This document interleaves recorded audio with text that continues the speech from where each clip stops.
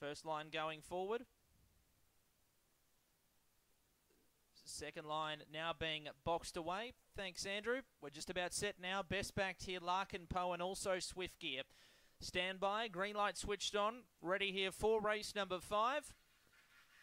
Favourite drawn in two, ready, racing. Larkin Poe began poorly. Speed from Scruples trying to push forward, and also Golly Goodness, who cuts down to the rail to lead two to Scruples. Then came Fizz out to third, further back to Swift Gear on the inside, then cut the talk. Uh, further back then to Fancy Moon. They're followed by Larkin Poe, second last, and at the rear, Tully. Down the side, Golly Goodness, still four lengths in front of Fizz out. Then came Swift Gear. Golly Goodness corners in front, clear, and Golly Goodness is going to win. Defeats up for second was Fizz out. Third in came Swift Gear. Golly Goodness corners in front. Clear and Golly Goodness is going to win. Defeats up for second was Fizz out. Third in Swift Gear. Then cut the talk. They're followed over Scruples. Uh, next in Levin confirmed for fourth. Six, four, one, and seven. Six.